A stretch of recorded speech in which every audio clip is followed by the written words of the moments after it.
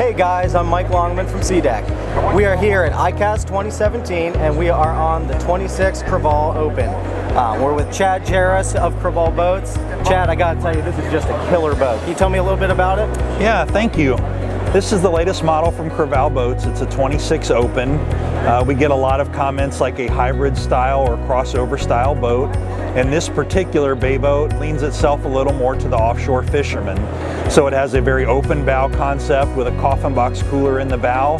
So those days when you go out, want to go out a little further, a little larger fish, this is the boat for you. Yeah, awesome. Now, Chad, this boat is fully SeaDeked. Uh, I know in the, over the course of the last 10 months or so, it's been up to the Jersey Shore. You guys have fished it hard for tuna in the Gulf, so it's taken some abuse. How's the SeaDek holding up? It holds up excellent, and, and I'll address that directly. I get a lot of questions about how does it hold up and how does it clean. That's the number one question is how does it clean?